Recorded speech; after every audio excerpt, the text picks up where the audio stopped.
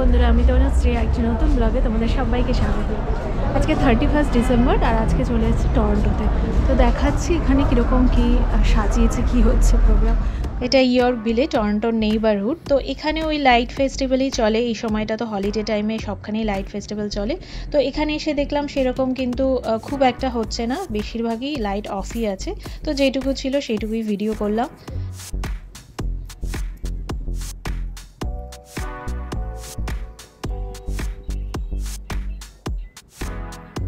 আর রাস্তাটাও কিন্তু অন্ধকার অন্ধকারই, ওই অল্প একটু একটু সাজিয়েছে, এই যে দেখতেই পাচ্ছ। এবারে চলে আসলাম টরন্টোর ভেতরেই Dundas square, or Yonge Dundas square বলে। তো এই জায়গায় কিন্তু প্রচুর এমনি প্রোগ্রাম টোগ্রাম হয়।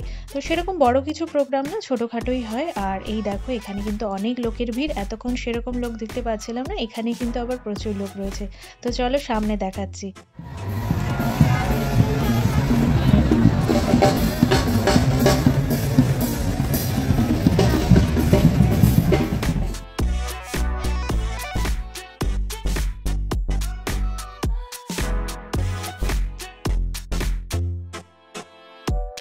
এবারে চলে আসলাম নাথান ফিলিপসকার তো সামনে যেটা দেখতে পাচ্ছ, এখানে আইস স্কেটিং হয়, কিন্তু আজকে দেখছি বন্ধ আছে। আর এমনি তো এখানে ক্যাভেলকেট অফ লাইটস ফেস্টিভ্যাল চলে, কিন্তু দুঃখের বিষয়, এখানে কিন্তু সেরকম লাইট কিছু দেখতে পাচ্ছি না। বেশিরভাগই সব অফই আছে। আর এখান থেকে কিন্তু ফায়ার ওয়ার্কসও হবে, সেটা বারোটার সময় হবে।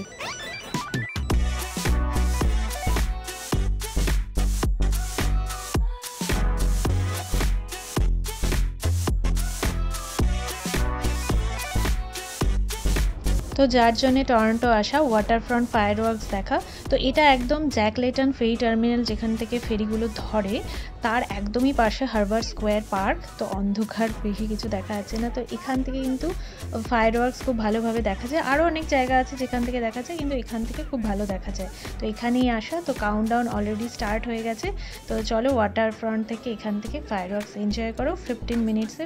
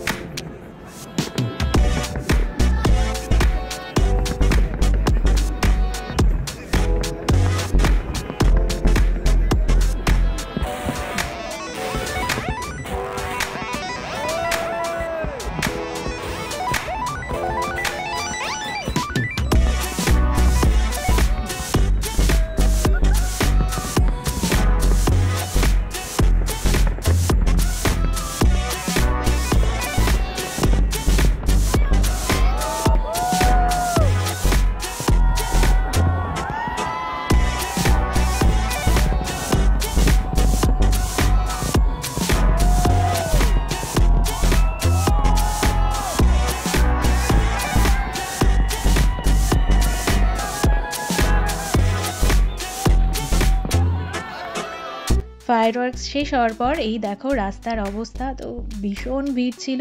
যেহেতু প্যান্ডেমিক দু বছর ছিল, অনেকেই আসতে পারেনি, তো এই বছর কিন্তু প্রচুর ভিড় হয়েছে। তো চলো, আমার ভিডিও ভালো লাগলে অবশ্যই একটা সাবস্ক্রাইব করে দিও। আবার নেক্সট ভিডিওতে দেখা হচ্ছে।